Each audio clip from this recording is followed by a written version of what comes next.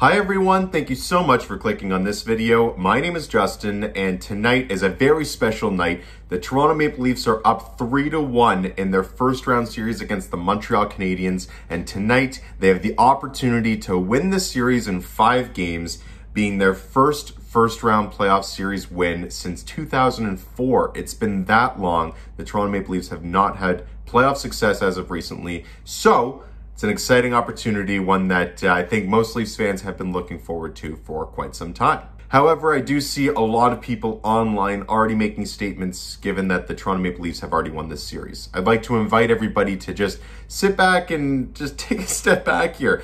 The Leafs have not won this series yet. Uh, I think it was two times that the Leafs played the Boston Bruins where they were down 3 to 1 in the series and pushed to game 7. Ultimately, of course, we did not win those series, but Three to one is not something that we can just expect this series to be over, especially a resilient group like Montreal. Obviously, Toronto does have a big advantage in this skill in the series. We've seen that they've dominated so far in their play but that's not to say that it can't be done. So I just invite everybody just to have a little bit of a hesitancy before saying that the series is done. Let's say it once it's actually accomplished. Let's get that fourth win. Let's not just take a step back and, and assume that it's over. We have to put the pedal to the metal. Uh, hopefully they can do that tonight. Uh, I think tonight will be the toughest game to win outside of game one, where obviously we had that JT injury and ended up losing the game to Montreal. But I think tonight will be a very, very tough test. They always say the fourth win in a series is the most difficult to achieve. So let's get it done. Hopefully tonight, worst case Saturday night, but uh, let's just not count our chickens before they hatch here and not assume that we're going to win. Now, I did want to bring up some very exciting news that John Tavares is back on the ice this morning and skating. Now, there's a little bit of uh, a complicated approach in my head towards this. Obviously, we want to make sure that John Tavares is doing things the right way, not pushing himself back prematurely.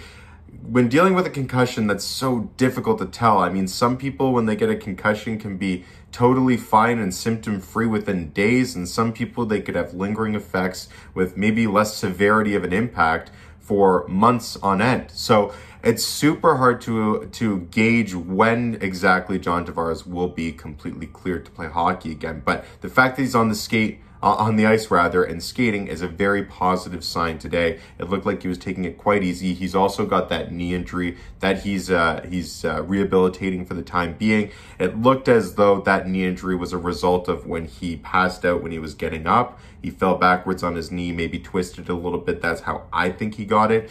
Um, but it's good to see he's on the ice and a really good sign. I thought when we had that impact, of course, I made a video on my reaction to it. I thought John Tavares was in serious trouble. I was shocked that he didn't have structural damage of any sort to his head, his neck, his spine.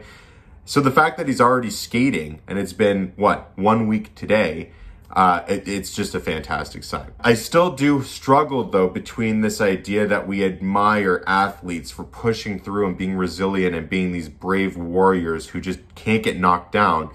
And in, in doing so, we kind of set this culture that players need to feel like they have to push through an injury that they may not otherwise be prepared for physically or mentally. Uh, and so I just, I, I really hope and pray that John Tavares is making the right decision here, understanding his body, uh, taking the signs from his body where they show him, you know, take a step back here or push yourself a little bit. Obviously, I think the NHL and the Toronto Maple Leafs are going to express to JT that, you know, follow the protocols and be as abundant in caution as possible. Do not push yourself. Something like a head injury. Obviously, there's constant legal work going on with the NHL and other leagues about how they deal with players and their concussions and the uh, the repercussions that that has in later in life uh, from head trauma throughout their playing time. So I hope again, John Tavares just taking it easy, one step at a time. Let's not push him back too early, but it's very encouraging seeing him on the ice. So that's it. I just wanted to address that. Of course, like I said, exciting opportunity tonight in Leafland. Hopefully they can get that done. Um, my prediction, I don't want to be a negative Nancy here, but my prediction is that the Leafs actually lose this game to Montreal. I think Montreal is going to come out hard. I think Toronto can be prepared for it. Uh, but I think Montreal is just going to play super hard like it's their last game of the season, which it possibly could be. Uh, but I do hope, of course, Toronto is able to come out with the win and win their first series since 2004. I was nine years old. I want to be able to remember a playoff series win. So enjoy the game. What are your thoughts? Let me know about JT. Let me know about the game tonight. Hopefully, the Leafs can get it done. And thank you so much for watching.